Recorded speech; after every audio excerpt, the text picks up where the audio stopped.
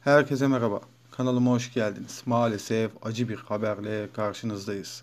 Trabzon'un tanınmış yöresel sanatçılarından Mesut Kurt İstanbul'da yaşadığı evinde karın ağrısı şikayetiyle Başakşehir Çam ve Sakura Hastanesi'ne başvurdu. Zehirlenme şüphesiyle yoğun bakımda tedaviye alınan Kurt'un beyin ölümü gerçekleştiği ifade edildi. Genç sanatçının yakınları Kurt'un beyin ölümü gerçekleştikten 72 saat sonra cenazesini teslim aldığı ifade edildi. Ölümüyle ilgili savcılık incelemesi başlatılan genç sanatçı memleketi Trabzon'un Sürmene ilçesi Soğuksu mahallesinde toprağa verildiği ifade edildi.